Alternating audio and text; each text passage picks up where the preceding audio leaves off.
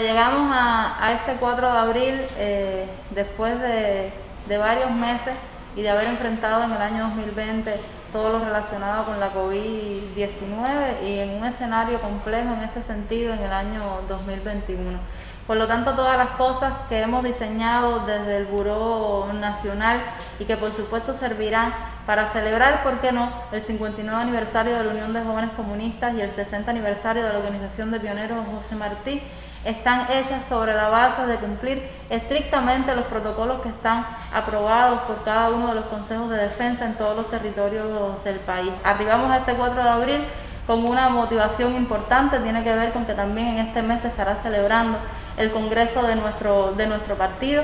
como se ha dicho, el Congreso de la, de la continuidad, y bueno, qué mejor manera de la expresión de esa continuidad que poder estarnos vinculando todos los días en función de lo que haga falta para construir un país que tenemos que construirlo entre todos necesariamente. la juventud cubana ha demostrado en estos últimos meses que es una juventud que participa, que es una juventud que está dispuesta a hacer, a transformar, a construir un país que es el que queremos, que es el que queremos que sea próspero, que tenga una economía también fortalecida y yo creo que en ese empeño tendremos los jóvenes que seguir apostando y tendremos los jóvenes que seguir haciendo. Oh,